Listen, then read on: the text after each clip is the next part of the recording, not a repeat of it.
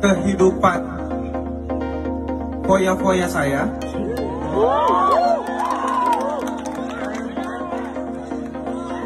Dan juga seluruh pembayaran hutang saya.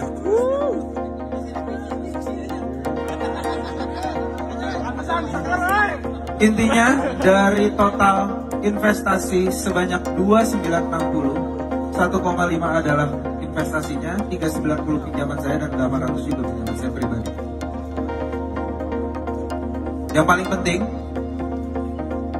dengan obrolan tadi saya di sana, saya sebagai Bagus Rahmat Setiaji bertanggung jawab penuh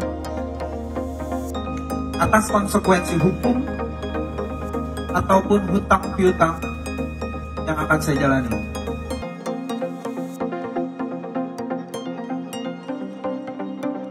Saya tidak akan kabur sejengkal pun dari permasalahan yang saya buat. Insya Allah teman-teman jadi saksi bahwa saya tidak akan sekalipun pergi dari permasalahan yang saya buat sekarang ini.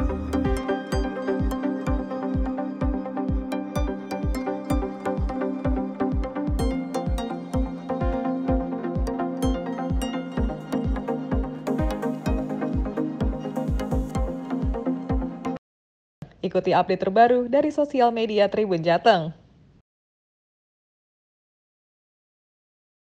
Download Tribun X sekarang. Menghadirkan lokal menjadi Indonesia.